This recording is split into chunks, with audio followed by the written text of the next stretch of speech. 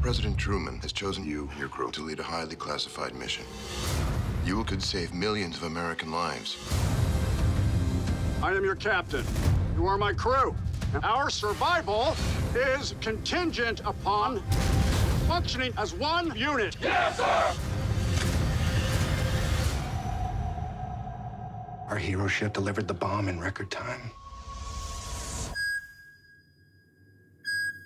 There's something in the water. Submarine, sir.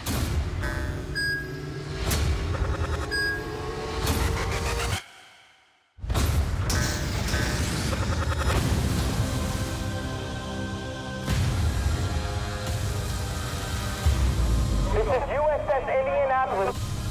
Does anybody copy?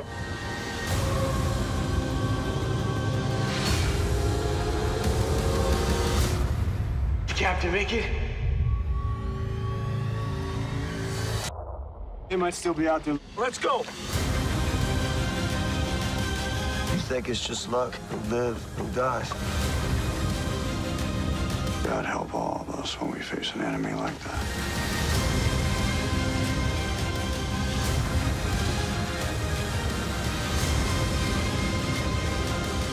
We need you back.